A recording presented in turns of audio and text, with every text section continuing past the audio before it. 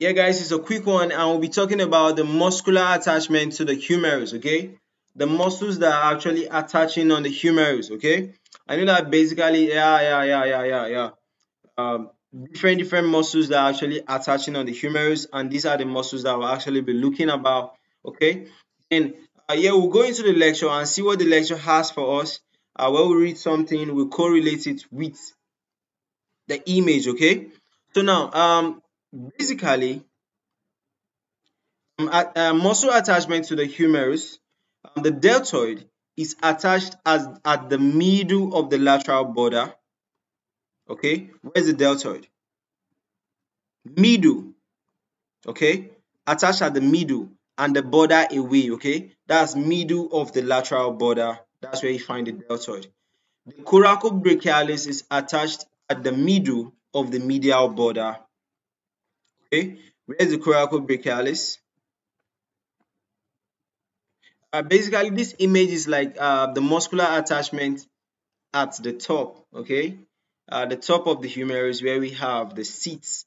Those are the um, rotator cuff muscles. Those are the supraspinatus, infraspinatus, teres minor, and subscapularis. Okay, but uh, talking about the coracobrachialis, uh, the coracobrachialis is not labeled here, but let's describe the location. Is attached at the middle of the medial border.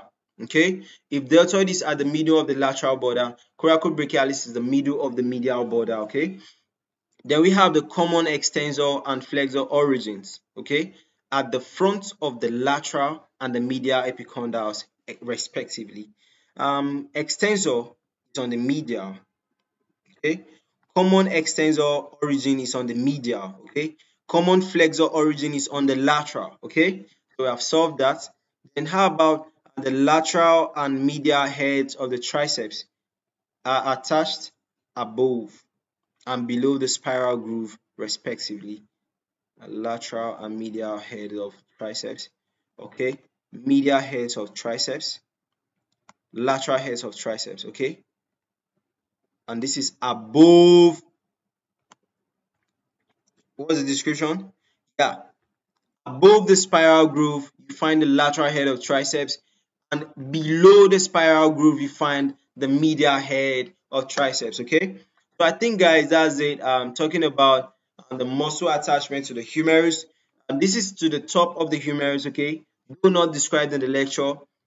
I explained it okay? These are the muscles that form the rotator cuff and um, the supraspinatus, infraspinatus, and teres minor attach on the greater tubercle, with the supraspinatus attaching on the upper impression, infraspinatus attaching in the middle impressions, and the teres minor attaching the lower impression. Okay.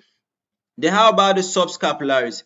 The subscapularis attach on the lesser tubercle. Okay.